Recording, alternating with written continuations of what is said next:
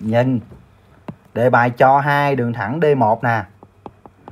Và cái D2 nè. Song song trên D1 có 5 điểm.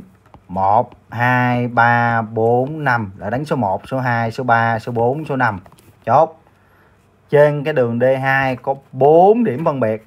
1 2 3 4 5 xin lỗi 4 điểm à. Đánh số 6 số 7 số 8 và số 9 chốt bây giờ nó kêu gì? Số tam giác được tạo bởi ba đỉnh. Tam giác thì thứ nhất bạn phải chốt lại. Muốn tạo ra tam giác thì phải được tạo bởi ba điểm gì? Mới nãy nói, ba điểm gì? Không thẳng hàng. Đúng chưa? Không thẳng hàng, vậy chỉ có trường hợp là gì? Trường hợp thứ nhất, trường hợp 1 đó là gì? Hai điểm nằm trên D.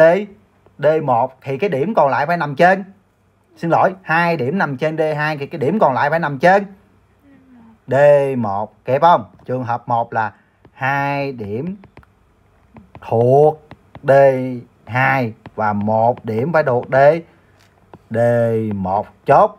Còn trường hợp nào nữa không? Trường hợp 2 hai điểm thuộc điểm mấy D1 một. Điểm thuộc. D2 rồi. Chốt cái đó chưa? Giờ bắt đầu. Hai cây hai điểm ở D2 vậy là C mấy mấy điểm. D2 mấy điểm. 4 lấy mấy điểm. 2 nhân. C 1 điểm ở D1 mấy điểm.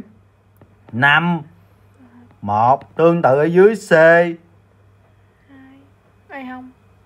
5 5 2 2 nhân C. 4 mấy?